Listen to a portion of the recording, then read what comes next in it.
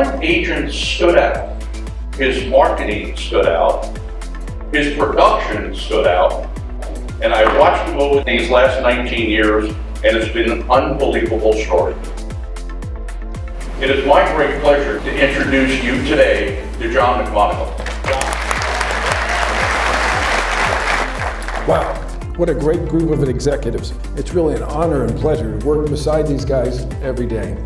Today we did something a little special uh, by renting the Port Theater for you because we have some special things to present to you. Agent Inc. its core value is to be agent-centric. Its whole drive is to make agents more successful. The risk reward of being a real estate agent is more prevalent today than it's ever been. 5% go on to make the type of money that a professional athlete makes. Agent Inc.'s focus is to make sure that each and every one of you are in that 5% club. And everything that we're doing, including our neighborhood technology, is built to make you successful.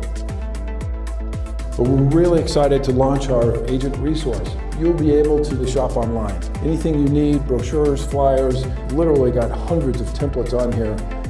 The other thing that we're launching this month is agent staging.